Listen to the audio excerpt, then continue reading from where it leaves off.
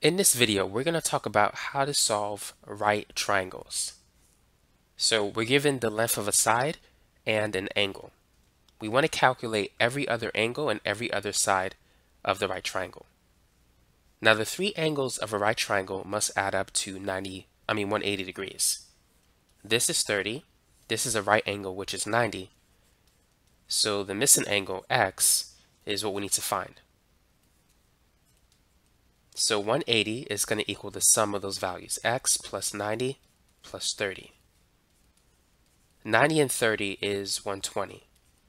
And subtracting both sides by 120 will give us 60. So the missing angle is 60 degrees. Now what I'm going to do is label everything. So let's replace x with 60 degrees.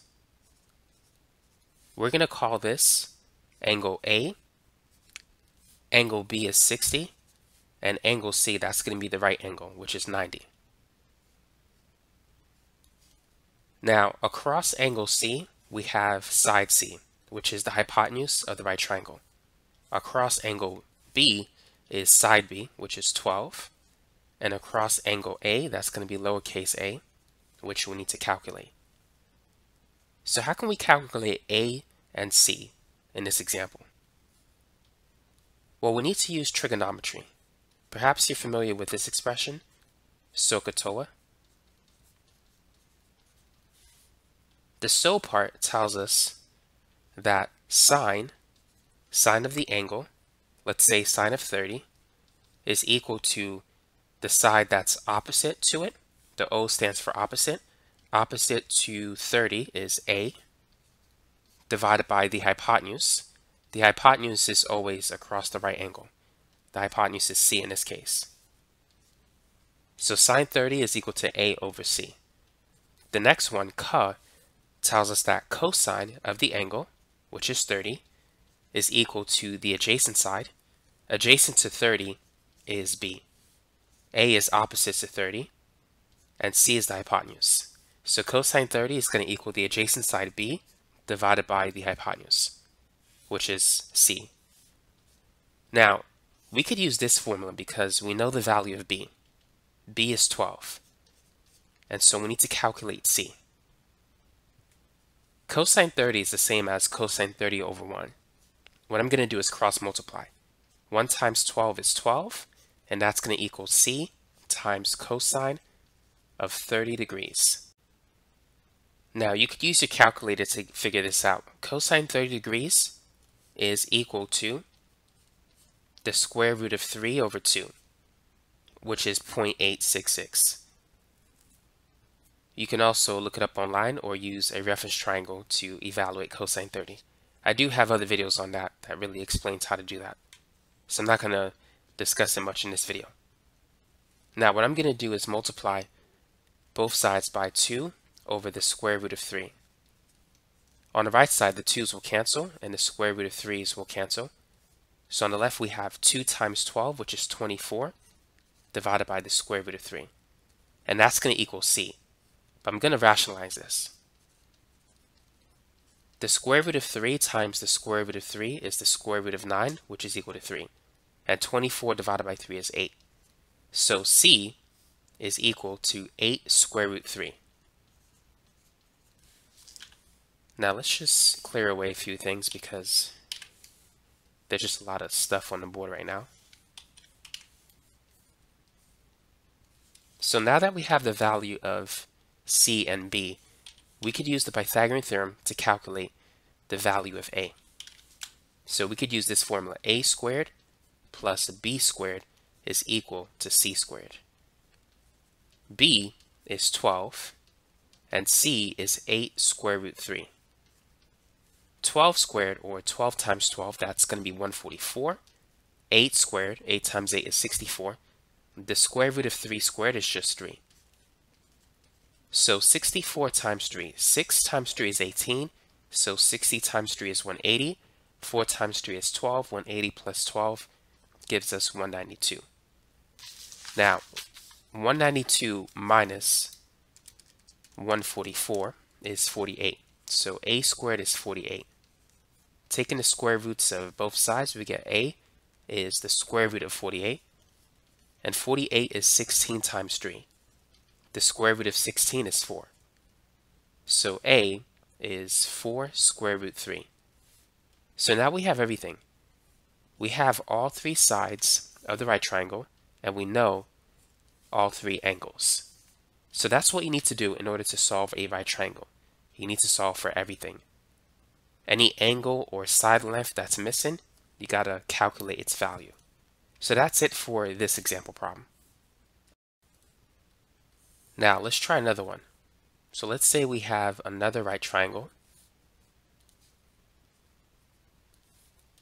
We're going to say this is angle A, angle B, angle C. And let's say that side A is equal to 21. And C, side C, the hypotenuse, is 29. We don't know what B or angle A or angle B is equal to. Go ahead and solve for this right triangle. Now the first thing that I would do is I would calculate the missing side length because I have the two other side lengths. So we could use the Pythagorean theorem for this. a squared plus b squared is equal to c squared. So a is 21, b is what we're looking for, c is 29. 21 squared is equal to 441. 29 squared, that's equal to 841. So subtracting both sides by 441, we're going to get 400.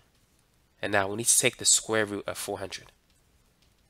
400 is 4 times 100. The square root of 4 is 2. The square root of 100 is 10. 2 times 10 is 20. So the missing side length is 20 units long. So that's the answer for that. And now let's just clear away this stuff. And let's move on to the next thing that we need to do, which is we need to calculate one of the angles, angle A or angle B. Let's focus on angle A. Now let's go back to the SOHCAHTOA expression. We talked about sine and cosine, but we didn't talk about tangent, so let's use tangent. Tangent of angle A is going to be equal to, so T is for tangent, O is for opposite, A is for adjacent. So it's equal to the opposite side divided by the adjacent side.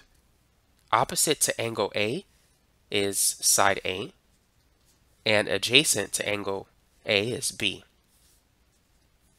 The hypotenuse is always across the right angle, so C is the hypotenuse. So relative to A, this is the opposite side, this is the adjacent side, and this is the hypotenuse. But just in case you're curious, relative to B, this is the opposite side relative to B. So therefore, this is the adjacent side relative to B. And this will always be the hypotenuse. So just keep that in mind. It changes if your perspective changes from A to B. But relative to A, angle A, B is the adjacent side. Side A is the opposite side. So we have tangent of angle A is equal to side A, which is 21, divided by side B, which is 20. Now, in order to get the angle, we need to use the inverse tangent function or the arctangent. And whenever you use the inverse function, you need to switch x and y. In this case, you need to switch the angle and the value. So if tangent of angle A is equal to a value of 21 over 20, then arctangent of the value is equal to the angle. And that's how we can calculate the missing angle of a right triangle in this particular example. Go ahead and use your calculator and type in arctangent 21 over 20 and you should get 46.4 degrees as angle A. By the way, make sure your calculator is in radian mode. I mean, I take that back. Make sure your calculator is in degree mode and not in radian mode if you're getting something different. Now, in order to calculate angle B, it's going to equal 180 minus the other two angles, angle A and angle C. So it's 180 minus 46.4 minus 90. Because the three angles of a right triangle must add up to 180. So it's going to be 43.6. That is the value of angle B. Now, because you're dealing with right angles, to get angle B, you could just do 90 minus 46.4, which will be faster. But just in case you're solving a triangle that is not a right triangle, you're going to have to use this one. But for, since this video is about right triangles, you can just do 90 minus 46.4. But that's it for this example. So now you know how to solve right triangles. Don't forget to subscribe to this channel and hit that notification bell while you're at it. Thanks again for watching.